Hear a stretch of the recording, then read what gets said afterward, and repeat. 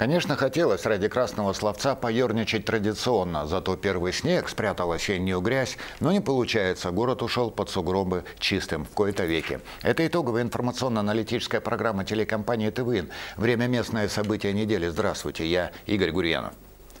Мы анализируем только то, что случилось на самом деле, что стало по-настоящему ярким событием и то, что действительно волнует, радует, беспокоит большинство магнитогорцев. Смотрите в выпуске. Потому что без воды многолетняя проблема с водоснабжением поселка Пресная Плотина сдвинулась с мертвой точки. Чистый город начинается с меня. Глава города наградил самых активных и неравнодушных участников конкурса «Чистый город». Льготы на проезд сохранить, изменения в правила благоустройства принять итоги очередного пленарного заседания городского собрания депутатов. Активная фаза завершена, работы продолжаются. Что сделано в городе? Обзорный репортаж событий. И теперь об этих и других событиях более подробно. Ночью со среды на четверг в Магнитогорске выпало 13,5 мм осадков. Это половина месячной нормы. Очисткой города от снега занимались два предприятия – Южуралмост и дорожное специализированное учреждение. По словам коммунальщиков, к встрече со стихией они были готовы. Но все ли горожане согласны с этим? Последствия первого серьезного снегопада наблюдала наша съемочная группа. Говорят, что в России из года в год снег выпадает внезапно. Однако на этот раз о выпадении осадков прогноз погоды сообщил заранее. По словам директора дорожного специализированного учреждения Дмитрия Гаврилова, спецтехника вышла на улицы еще вечером в среду. Всего на уборке было задействовано 67 единиц техники. Как обычно, сначала расчищаются центральные улицы и мостовые переезды, затем рабочие приступают к уборке так называемых поперечных улиц от вокзальной до Зеленого лога. Пока мы сейчас полностью город не очистим, техника будет работать. Но а потом будем смотреть, наблюдать за погодой. Сейчас э, пару-тройку дней там снегопадов не обещается. Поэтому я думаю, что за сегодняшний день нам надо постараться э, убрать весь город, то есть все разъезды, почистить все остановочные комплексы, тротуарные э, дорожки, пешеходы чтобы людям было комфортно не только автомобилистам, но и пешеходам. Техника техникой, однако снега выпало действительно немало, половина месячной нормы осадков. Чтобы привести улицы и пешеходные дорожки в порядок, нужно немало времени, поэтому некоторым автомобилистам утром было действительно некомфортно. Это первый день, машины только выехали на очистку дорог. Я думаю, за ближайшую неделю они припедут ну, нормальную работу и будут успевать. В Полянино вообще много снега было. Ничего не убрали. Какое время было? Ну, с утра где-то в часов 7. С утра, когда я ехал, центральные улицы были свободны от снега в большей части, но за городом, то есть откуда я ехал, на поселках было завалено все, как бы, не чищено. А так, думаю, в целом нормально для города. Я, если честно, только выехал. Я не могу сейчас э, сказать вам конкретно, то есть, ну. Но я думаю, что, наверное, нет. Потому что не были готовы к этим моментам. Я даже, честно, переобуться не успел. К слову о тех, кто не переобулся. Водителей, не следящих за прогнозом погоды, в Магнитогорске действительно достаточно. На шиномонтажках царит ажиотаж. Любят первый снег и автожестянщики. Количество ДТП в такие дни существенно возрастает. Сегодня, вот по сравнению со вчерашним днем, где-то в два или в три раза количество дорожно-транспортных происшествий э, увеличилось с э, нанесением ущерба. Поэтому госавтоинспекция убедительно просит водителей быть более бдительными, соблюдать скоростной режим, э, следить за э, своим автомобилем более внимательно. Ну и э, взаимная вежливость должна быть обязательная, потому что только взаимная вежливость как водителей, так и пешеходов поможет улучшить нашу ситуацию на дорогах. Павел Берсенев, Александр Макаров, телекомпания ТВИН. Есть свет в конце тоннеля или применительно к теме нашего репортажа «Вода в начале трубы». Достигнута принципиальная договоренность между администрацией города Трестом, водоканал, подрядными организациями о проектировании и дальнейшем строительстве водопровода в поселок Пресная Плотина. Решение проблемы, которая не один десяток лет сдвинулась с мертвой точки. Каким образом, мы выяснили. Чтобы полностью понимать глубину проблемы, нужен небольшой исторический экскурс. Этого поселка нет ни в одном генеральном плане развития города. В конце 70-х годов прошлого века всей страной выполняли так называемую продовольственную программу, частью которой было развитие частных подворий и разведение кроликов в том числе. Отсюда народное название поселка – Крольчатник. Разводили кроликов настолько истово, что забыли оформить документы. Поселка ни в каких реестрах не было, а люди жили. Нет на бумаге, бумаги, значит нет в коммунальных сетях. До недавнего времени поселок не высвечивался даже на навигаторе. В конце 70-х воду набирали в молочные бидоны кружками из небольшого родника, который бил неподалеку от поймы вот этого ручья, на дне которого мы с вами находимся. Шло время, люди обживались, обзаводились скотиной крупной и мелкой, начали строить колодцы, примерно по два на каждой улице. Тогда мы еще ничего не знали ни про кальций, ни про нитраты. И совершенно спокойно пили эту воду. Сейчас в колодцах нету даже ведер. Если позволяли технические, финансовые и геологические возможности, то люди обзавозились скважинами прямо на собственных подворьях. Нажимаешь тумблер, вот она, живительная влага. Обо всех водных напастях пресной плотины не понаслышке знает Сергей Солодовников, член инициативной группы по водоснабжению поселка. Знает он и о том, насколько местная аквавита не подходит для употребления. Он с единомышленниками не единожды обращался, в том числе к главе города Сергею Бердникову. Пути решения искали буквально на ощупь. Проблема сложная со всех точек зрения и, главное, тема дорогостоящая от слова «очень». Я в своем доме, значит, у нас есть колодец который, э, у него глубина 8 метров. Значит, весной пользуется им, она мутная вода. Это верховая вода, которая сходит сюда. Значит, поэтому у меня стоит фильтр, стоит емкость дополнительная, в которой я заливаю воду, и уже из этой емкости я пользуюсь в доме как техническую воду. Для жителей поселка перечисленная привычная ситуация. Так делают все или почти все. С 2016 года сюда организован подвоз питьевой воды в автоцистернах силами водоканала. Но и сами специалисты считают это даже не полумерой. Благодаря поддержке главы города Сергея Николаевича Берникова было принято решение о выделении средств для проектирования и последующей реализации этого проекта. Необходимо цивилизованно подключать поселок к централизованным системам водоснабжения. Сегодня Управлению капитального строительства Магнитогорск Инвестстрою уже даны соответствующие поручения провести выбор проектировщика. Найдены точки врезки в центральный водовод. Найден компромисс с железной дорогой. Часть водовода пройдет идет под железнодорожными путями. График следующий. С 20 ноября осуществляется сбор исходной документации. С конца декабря до 10 марта должны быть выполнены проектные работы. До 11 мая проект пройдет государственную техническую экспертизу. Положительное заключение экспертизы позволит э, провести конкурсную процедуру на э, поиск потенциального подрядчика по созданию этих объектов. И, возможно, 20 и 21 годы уже непосредственно создание этих объектов. Коммунальщики совершенно резонно осторожничают со сроками окончательного водоснабжения крольчатника. Проект находится на начальной стадии, емкий и технически, и финансово. Какие-то сложности наверняка возникнут на этапе строительства. Успокаивает одно – это уже не мечты, а планы. И не прожекты, а проекты. Поживем, напьемся. Игорь Гурьянов, Виктор Исаев, телекомпания ТВИН.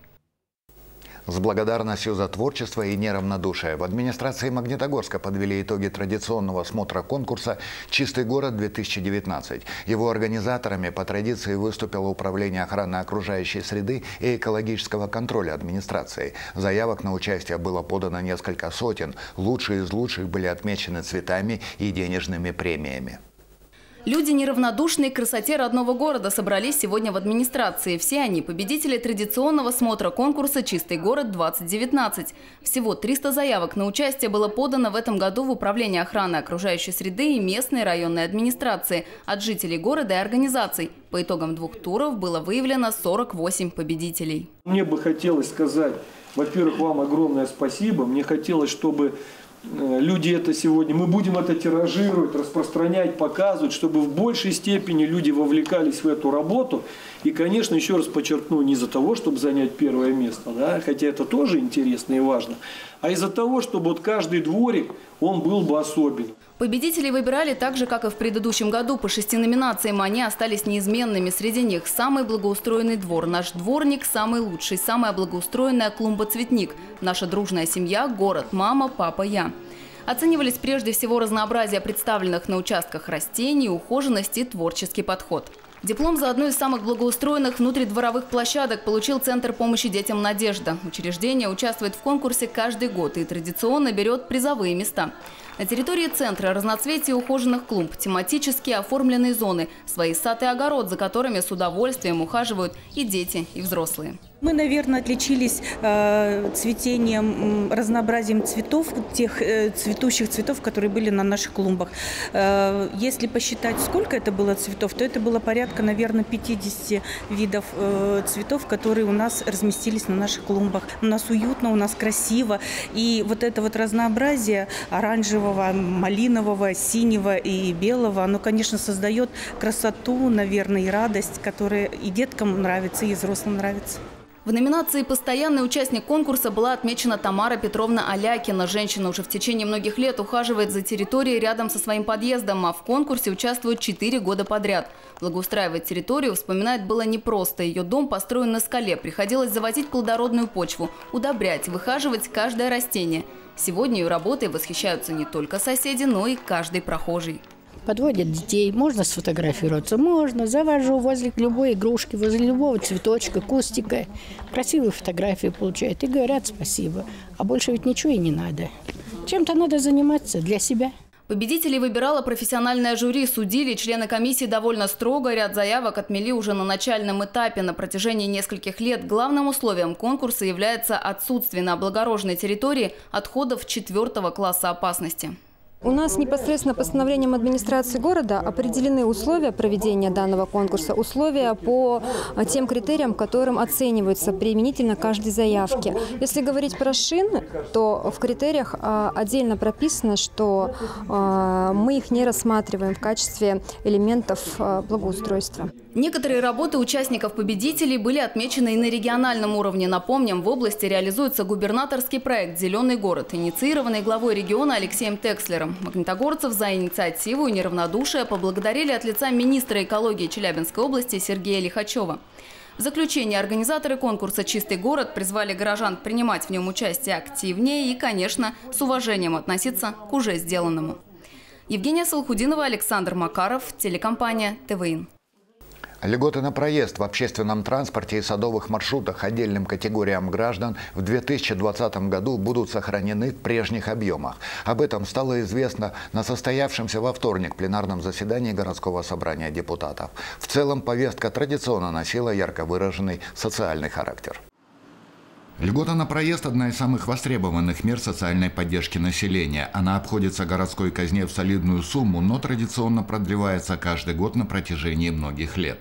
Те, кто пользуется социальной картой, а также женщины с 55 и мужчины с 60 лет, по-прежнему имеют право на 30 бесплатных поездок ежемесячно. Если выходишь из графика, следующие поездки в половину от утвержденного тарифа. Магнитогорск – единственный в Челябинской области город, где пенсионеры могут доехать доехать до своих шести соток абсолютно бесплатно. В этом году сезонных маршрутов было 13, совершено более 800 тысяч поездок.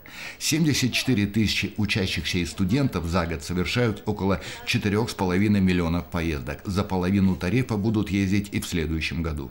Общий объем пассажироперевозок в муниципальном транспорте составляет 18,2 миллиона поездок. В том числе а, граждане, достигшие а, возраста 55 и 60 лет, женщины и мужчины а, это 50,4%, студенты и учащиеся 17,2%, Граждане 32,4%. Существенные изменения претерпят и правила благоустройства территории города. По примеру областного центра в обиход вводится такое понятие, как гостевой маршрут.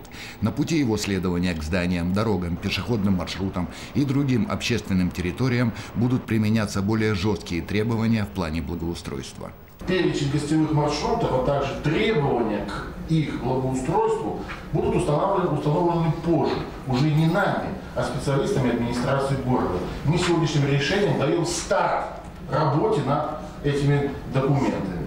Суть их э, очень простая. Будут конкретно установлены требования с учетом опыта других городов. Контролировать те самые правила благоустройства с сегодняшнего дня также будут по-новому. Собрание дает администрации дополнительный инструмент – муниципальный контроль исполнения правил. В скором времени появится реально действующий механизм для выявления и предупреждения нарушений требований по благоустройству. Осуществление муниципального контроля находится под пристальным вниманием региональных и федеральных органов.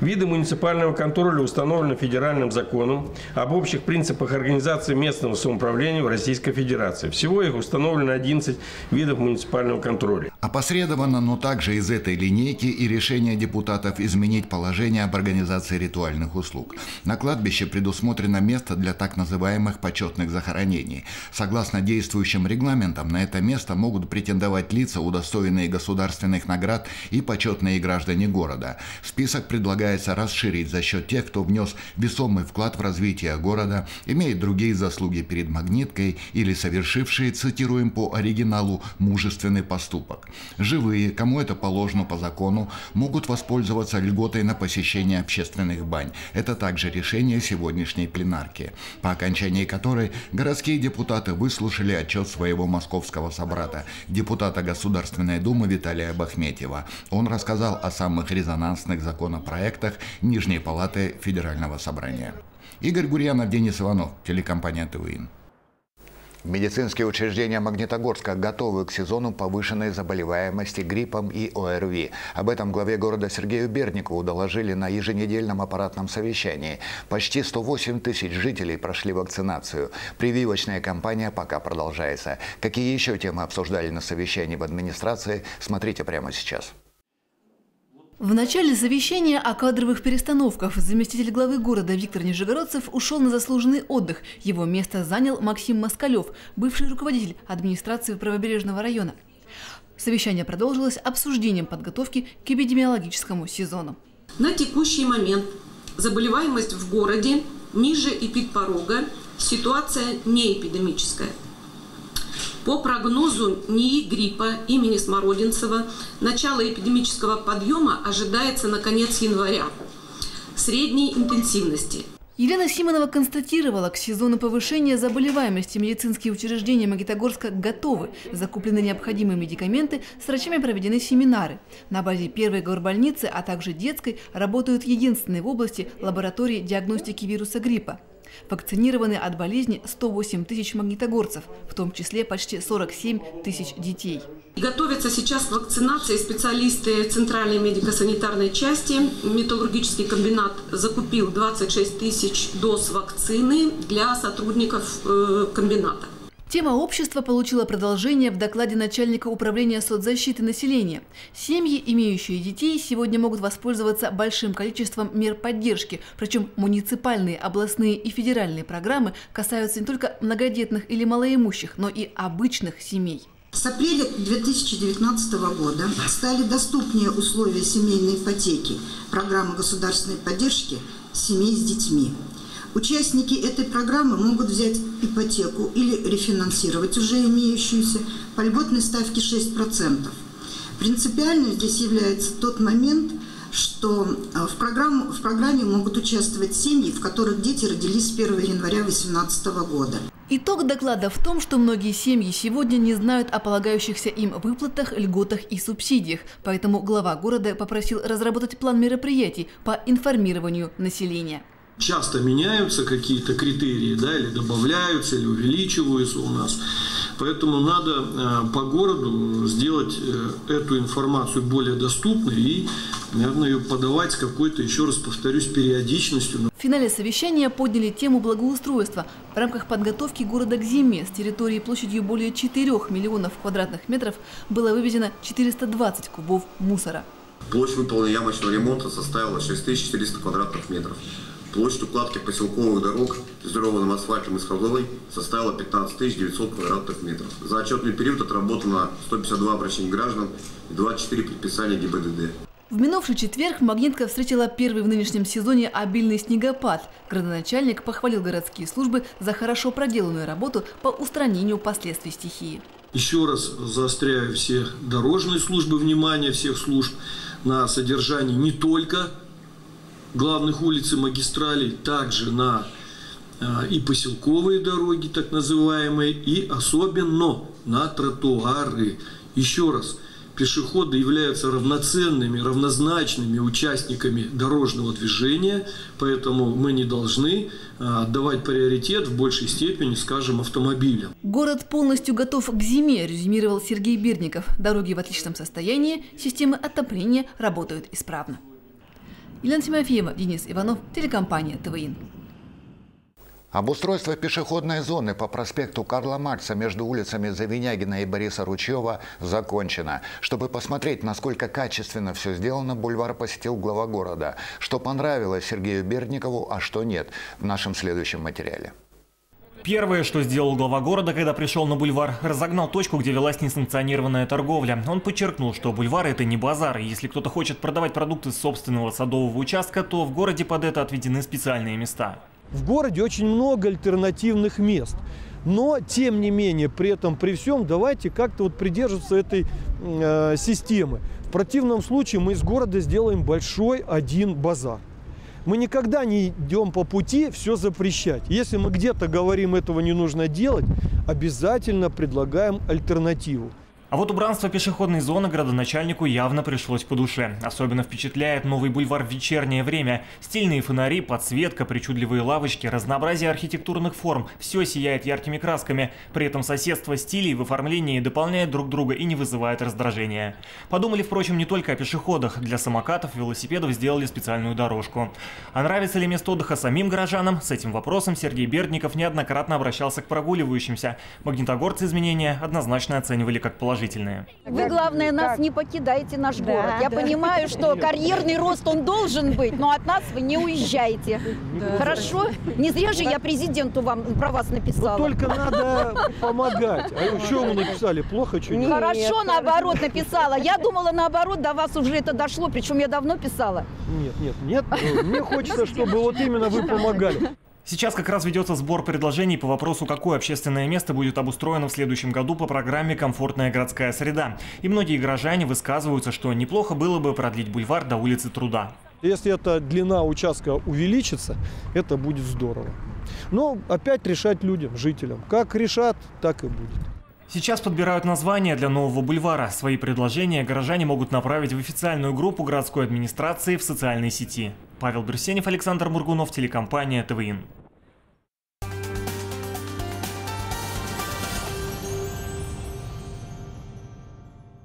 И сейчас продолжение темы будет большой, но интересный материал, подготовленный нашими корреспондентами о том, что в принципе сделано в Магнитогорске в этом году с точки зрения благоустройства. Скорее всего, это будет не полный перечень. Замечу лишь, что ни один новостной выпуск телекомпании ТВИН в этом году не выходил без благоустроительной тематики. Словом, Магнитка 2019. Наши дни преображения. Любая новостная информация включает в себя ответ на три вопроса. Что, где, когда. Если это аналитический материал, то добавляются еще два. Как и почему. Но часто бывает так, что аналитика начинается с простого перечисления, компиляции, сбора воедино фактов, явлений, событий, объектов, как в нашем случае.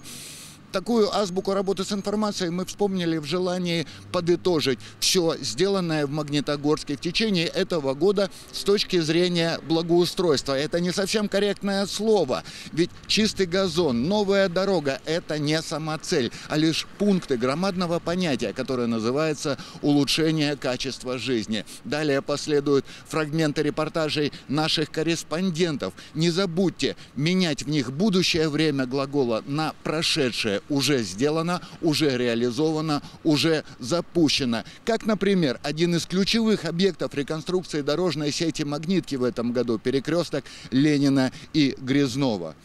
Не узнать. Реконструкция площади имени Григория Носова началась в августе. Специалисты Макгуртранса заменили здесь более 800 метров трамвайных путей. Дорожное специализированное учреждение занималось укладкой асфальтобетона. Работники комбината, которые ездят на родное предприятие по центральному переходу, наверняка уже смогли оценить ровное дорожное полотно на круговом перекрестке и практически незаметные рельсы. Федеральные средства, полученные магниткой на реализацию национального проекта «Безопасные и качественные автомобильные дороги», помогли привести в порядок 13 дорожных объектов, включая этот участок проспекта Ленина. Это 13 объект. Всего в этом году 13 объектов. Общая площадь, общая длина 12,5 километров по этой программе. Общая площадь составляет порядка 160 тысяч квадратных метров.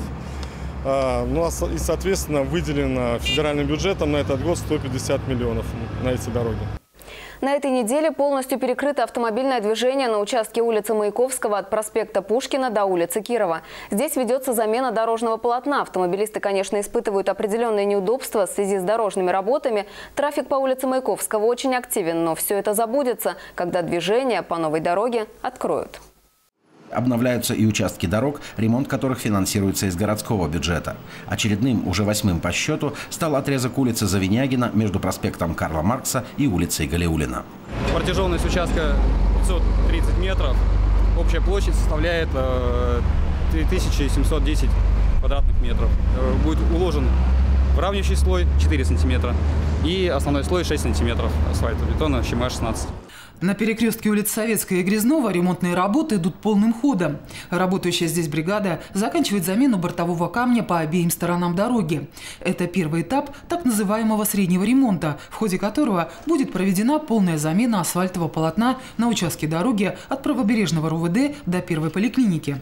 Словом, дорожные работы уже идут вовсю, но движению они никак не мешают. К 20 июля обновление этого участка, чья общая площадь составляет 4200 квадратных метров, будет закончена полностью. И магнитогорцы получат по-настоящему хорошую дорогу, для ремонта которой впервые будет использован новый вид асфальтобетонного покрытия. Ремонт на участке дороги от Труда до Зеленого Лога по улице Советской в последний раз проводился лет 20 назад. В результате дорожное полотно давно превратилось в настоящее решето с трещинами, ямами и наплывами. Поэтому в список дорог, требующих капитального ремонта, этот участок попал практически без возражений. Значит, технология здесь. Загоняет большую фрезу и срезает старый асфальт. Потом идет замена бортового камня. Значит, 2 километра 600 метров на этом участке. И потом идет нижний слой выравнивающий 4 сантиметра и верхний слой ЩМА, щебеночно-мастичный асфальтобетон 6 сантиметров. К работам на западной стороне проспекта Карла Маркса на участке от улицы Гагарина до Дружбы специалисты приступили 19 июня. В данный момент здесь уже заменили старый бордюрный камень на новый, оформили остановочные карманы и уложили большую часть асфальтового полотна. Средний ремонт здесь проводится в рамках реализации федеральной программы «Безопасные и качественные автомобильные дороги». На данный момент э, уложено два слоя асфальта э, на участке Карла от э, улицы Гагарина до улицы Правды. А сегодня будет продолжаться укладка выравнивающего слоя на участке от Правды до, до Дружбы. И завтра уже закончат укладку верхнего слоя. Всего асфальт здесь будет уложен на площади 5000 квадратных метров. Протяженность отреставрированного участка составит 800 метров.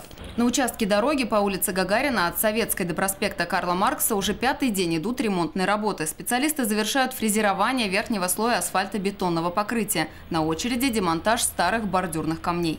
Площадь данного участка составляет 12,5 тысяч квадратных метров, а протяженность 1 километр. Э, на данном участке будет применяться тип асфальтобетона ЩМА-16. Э, он себя зарекомендовал как менее подверженный к пластическим деформациям. К ремонтным работам на улице Северный переход приступили неделю назад. Протяженность участка, на котором будет заменен верхний слой асфальтового полотна, более 1600 метров. Это расстояние от моста до улицы с названием «Мостовой проезд». На улице Северный переход ремонту подвергнется только северная сторона. На южной работы проводились в прошлом году. Последний раз этот участок дороги ремонтировали более 15 лет назад. Из-за износа асфальтового полотна здесь возникла сильная колейность.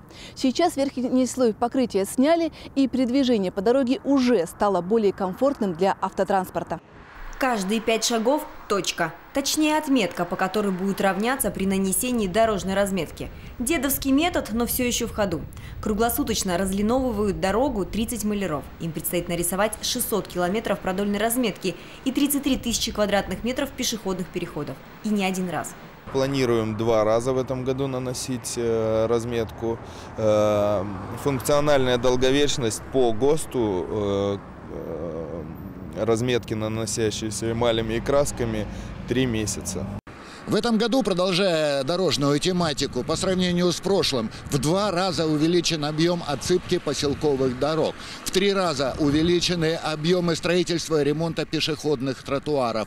25 новых протяженностью 3 километра, 130 к ремонту протяженностью 20 километров. Что касается основных магистралей, то проехал по новой дороге, будь добр, припаркуйся по правилам. Вот это по правилам удавалось далеко не всегда всегда. Прежде всего от отсутствия парковок страдали учреждения социальной направленности, школы, детские сады, больницы. Конфликтные ситуации, возникавшие между автомобилистами, заезжающими на территорию детской больницы с улицы Суворова, уйдут в прошлое. Проезд не только расширили и отремонтировали, здесь еще и будет организована отдельная пешеходная зона.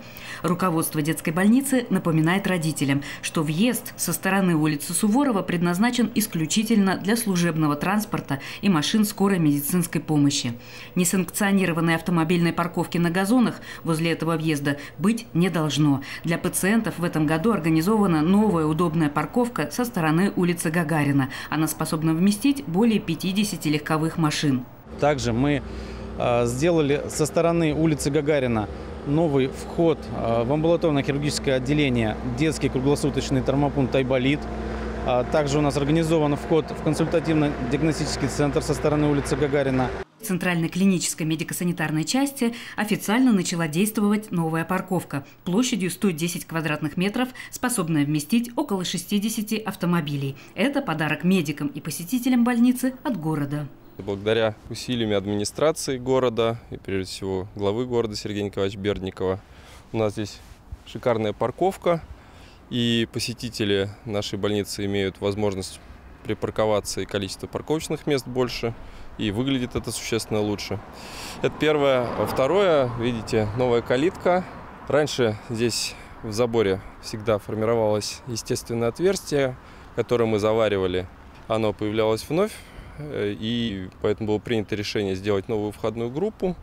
Ездить было невозможно, машины ставить некуда. Первым пунктом рабочего объезда главы города Сергея Бердникова стала парковка у торговой галереи «Мост-2». 1 августа на этой территории начались масштабные работы по благоустройству. Долгожданное событие для магнитогорских автолюбителей.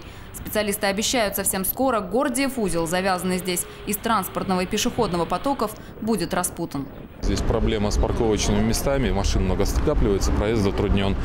Э, будет расширено количество мест в полтора-два раза примерно, ну в два раза.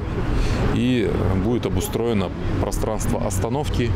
Это уже восьмой парковочный карман, который строители дорожного специализированного учреждения делают в подобных условиях. Мы в декабре приступили, ну и, и продолжаем, не останавливаемся. График у нас расписан до конца марта. До конца марта мы сделаем, подготовим 34 парковки.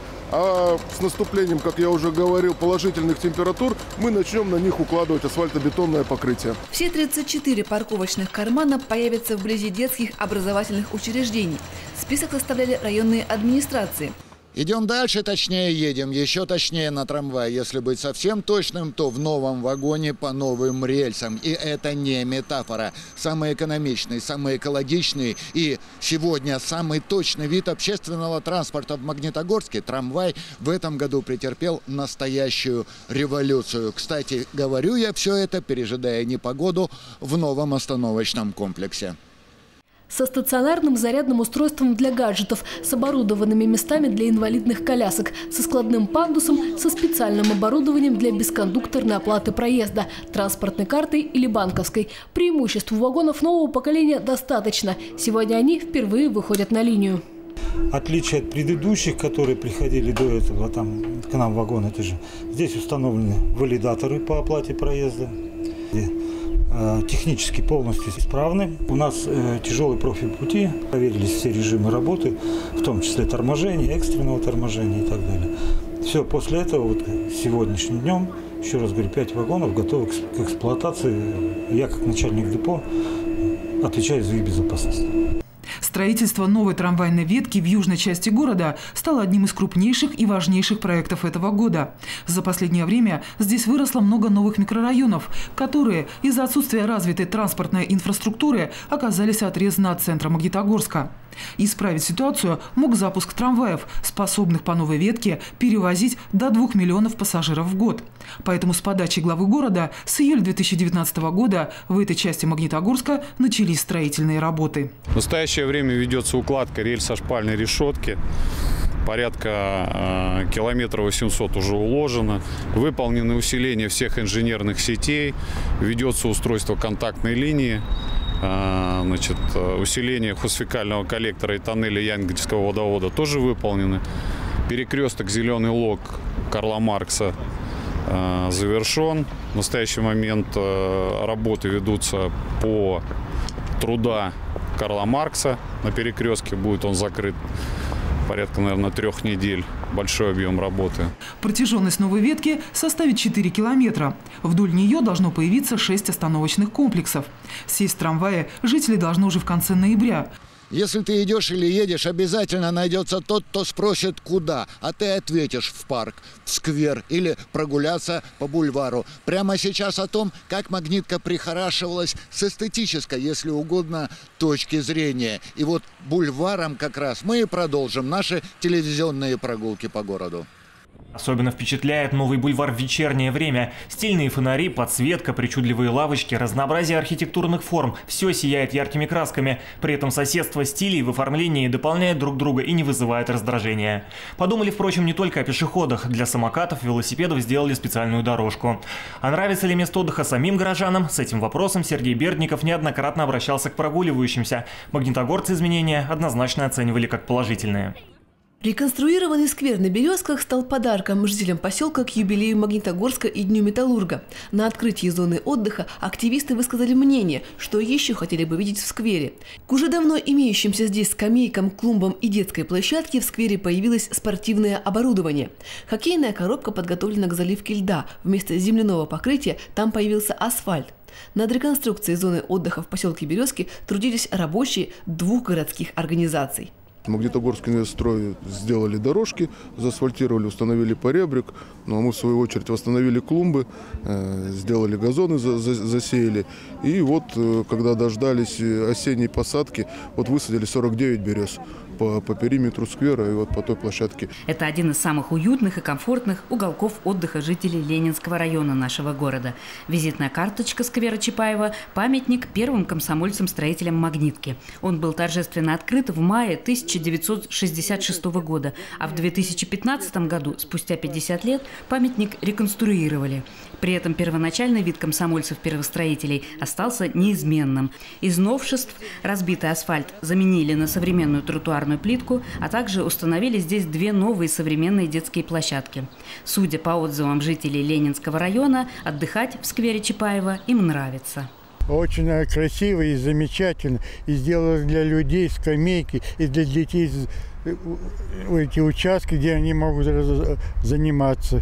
Хожу до монумента гулять вечером и обратно. И, и тоже прохожу через этот участок. И вот красотой, вот эти цветы, вот это все, столько труда вложено. Это, я, спасибо нашему руководству, комбинату и администрации города, что так. Ну, чтобы наши люди берегли это, что им делать такое добро.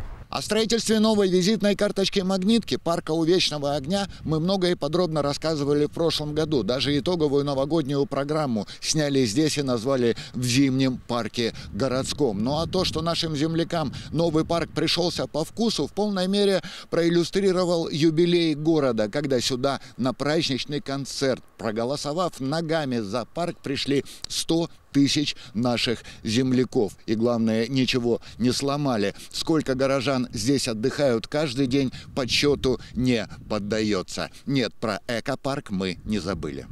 Лыжня России собирает не только магнитогорцев. Идея действительно стала всенародной. К нам в Центр физической культуры и спорта «Экологический парк» ежегодно приезжают команды из ближайших городу сельских районов. Люди едут с удовольствием. Говорят, у вас хорошо. Мы уже где-то, наверное, лет 15 каждый год приезжаем сюда, вот в экопарк. отдыхаем. Этот день для нас праздник большой, то есть мы ждем его зимой с нетерпением. Сегодня мы участвовали в спартакиаде ветеранов. А, еще хотим поучаствовать э, на лыжне России. Покатались прекрасно. Изменения в облике сквера площадью 16 тысяч квадратных метров заметны невооруженным взглядом. Здесь положили новую плитку, заменили скамейки, установили урны, произвели обрезку деревьев и посадили новые кустарники. Подумали строители и о детях. Для ребятни была возведена детская площадка. Одним словом, такого ремонта в сквере Победы не было со времени его основания. Перемены пришлись по душе и местным жителям. Сказать вам спасибо за такой нам подарок. Очень красиво а преобразилось. Ну, был. Когда-то. Когда-то. Ну, а ну, кстати, не такой. Он, кстати, таким не был. Я прекрасно помню. Таким он никогда не был. Аккуратным, красивым. Вот не было такого. Да. На территории бывшего теплично-садового совхоза состоялась публичная презентация проекта «Притяжение» для жителей города. Проект предусматривает многоцелевое использование почти 400 гектаров земли. Здесь будут сконцентрированы современные спортивные, медицинские, музейные и культурные объекты. Их строительство откроет качественно новый уровень возможностей для образования, отдыха и здорового образа жизни горожан и гостей города.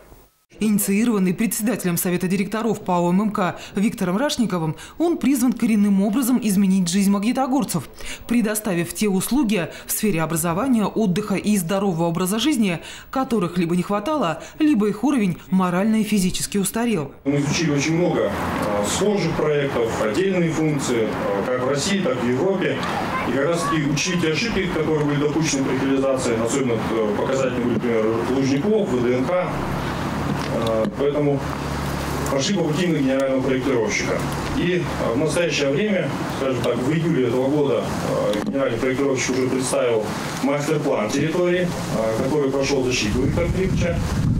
И, соответственно, из трех предложенных вариантов был тот вариант, который сейчас вы видите на картинке, под рабочим названием «Бульвар». Главная задача проекта притяжения – повысить уровень жизни магнитогорцев, придав индустриальному городу статус туристического и образовательного центра национального уровня.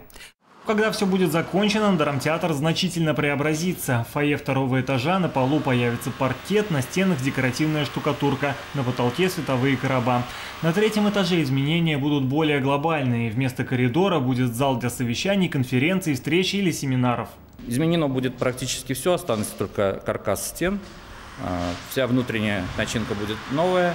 Это касается интерьеров, это касается всех инженерных сетей, которые будут заменены. И это касается всего оборудования театрального, звукового, светового, механического оборудования сцены, телевидения технологического, видеопроекции, режиссерской связи, всего того, что находится в сердце театра, на сцене и в зрительном зале. Если говорить о дизайне, то выполнено все будет в стиле лофт. Для него характерны открытые пространства с хорошим освещением.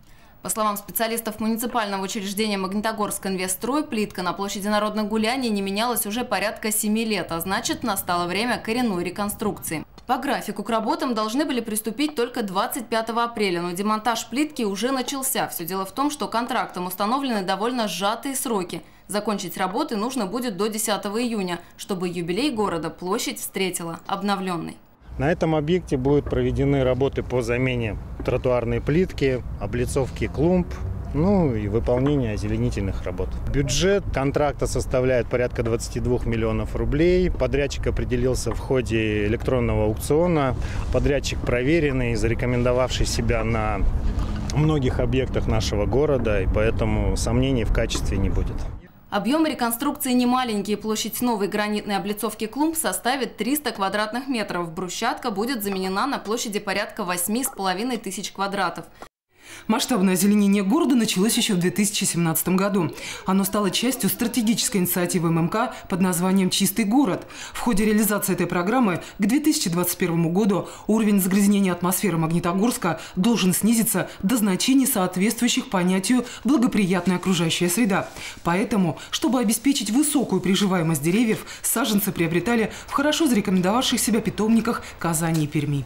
В 2017 году было высажено тысяча деревьев, так называемая акция «Тысяча деревьев детям». Это по социальным объектам, то есть по школам и садикам высажено. В 2018 году э, более полутора тысяч, если так на память, 1800 э, с копейками. И в 2019 планируется к высадке 1630 деревьев. Среди высаженных деревьев – липы, березы, рябина и сибирская ель. Все вышеперечисленное далеко не полный перечень того, что сделало наш город красивее и удобнее для проживания. Когда мы хотим сказать человеку что-то приятное, то желаем ему прежде всего здоровья. Можно перефразировать в контексте нашего анализа и качественного медицинского обслуживания, которое в свою очередь, во многом зависит от внешнего вида, входных групп, регистратур, коридоров медицинских учреждений. В 2019 году этому аспекту было уделено особо пристальное внимание. В женской консультации поликлиники номер один теперь светло, красиво, уютно, на стенах висят картины, кругом цветы. Это медицинское подразделение выполняет важнейшую задачу – следит за здоровьем работниц группы ПАО ММК. Здесь наблюдается около 14 тысяч женщин. Комфорт в женской консультации можно назвать результатом заботы металлургов о своих сотрудницах. Благодаря нашим спонсорам, конечно, наш спонсор, градообразующее предприятие, они выделяли средства и э, прислушивались к нашему мнению, что мы хотели сделать. Детскому саду номер 170, расположенному по адресу Октябрьская 5, дробь 2, в этом году исполнилось 54 года. Здание было построено в 1956 году и предназначалось под ясли. Балкон на втором этаже специально предусмотрен для выгуливания годовалых малышей. Увы, но капитального ремонта в садике не было с самого его открытия. Печальный внешний облик здания даже не самое страшное в этой истории. Главная многолетняя проблема – дырявая протекающая крыша. По словам руководства руководства детского сада номер 170, глава города Сергей Бердников откликнулся на письменное обращение, призыв о помощи. В прошлом году здесь полностью заменили окна, а этим летом выделили деньги на ремонт кровли. Работы уже начались. В том году с местного бюджета было выделено 100 тысяч, а в этом около миллиона. Было поставлено технологическое оборудование на кухню. Поэтому вот э, деньги город дает очень много, в большом количестве. Поэтому вот большое спасибо. На сегодняшний день в Магнитогорске работают 132 дошкольных учреждения. И если дети старше трех лет полностью обеспечены местами, то для самых юных горожан по-прежнему есть дефицит в 600-700 мест. Особенно актуальна проблема для жителей южных микрорайонов. Помимо строительства новых детсадов, очень кстати будет реконструкция бывшего здания факультета психологии МАГУ, расположенного по адресу Доменчиков 28, дробь 1. Здесь э, будет располагаться детский сад на 85 мест, где будут э, созданы две группы для детей э, раннего возраста до трех лет. Э, и мы, я думаю, что э, ликвидируем потребность в этих микрорайонах близлежащих. И в планах строительства детского сада на 290 мест по типовому проекту в микрорайоне 147. Новая школа в 145-м микрорайоне построена по современному типовому проекту. Таких школ в Магнитке еще не было. Здание этого образовательного учреждения будет соответствовать всем действующим нормам и требованиям. Заказчиком строительных работ этого объекта является Магнитогорский инвестстрой, а генеральным подрядчиком – Трест Магнитострой. Вся школа будет белая, светлая, красивая школа. Внутри будут, ну, применяются такие довольно современные материалы, потолки в коридорах грильята. Такой, видели, очень красивый потолок, такой, как реечка, алюминиевая. Вот. Ну, в кабинетах Амстронг подвесные потолки, покраска. Ну, это все соответствует нормам, потому что для учреждений с большим пребыванием людей, сейчас же пожарные нормы очень строгие, никаких горючих материалов быть не должно. То есть везде покраска. Школа состоит из нескольких блоков зданий, которые соединяются теплыми переходами. Начальные классы будут учиться в отдельном блоке со своими спортивным и танцевальным залами, библиотекой. 39 отремонтированных внутриквартальных территорий, 20 трамвайных переездов, новые светофоры и освещение улиц. Год еще не закончился, а значит впереди еще много репортажей о том, как преображается наш любимый город. Десятки и сотни больших и малых дел. Реконструкция аэродрома, газификация поселков, новая многопрофильная больница, многоуровневая развязка на Ленина-Завинягина, новый крытый каток с тренировочной базой, новый центр материнства, новый парк притяжения. Все это не мечты, а планы, не прожекты, но проекты. Увидимся там же. Время местное.